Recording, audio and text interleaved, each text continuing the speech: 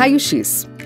O raio-x é um dos exames de imagem mais utilizados e mais comuns em todo o mundo, seja em clínicas ou hospitais. A diferença básica do raio-x tradicional e o digital é a mesma das fotografias.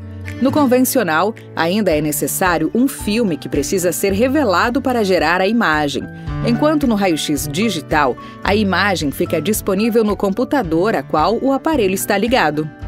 Existem muitas vantagens do raio-x digital em relação ao convencional. No digital, é possível ter uma maior nitidez e contraste, fundamentais para diferenciar a densidade dos tecidos, músculos, órgãos e ossos.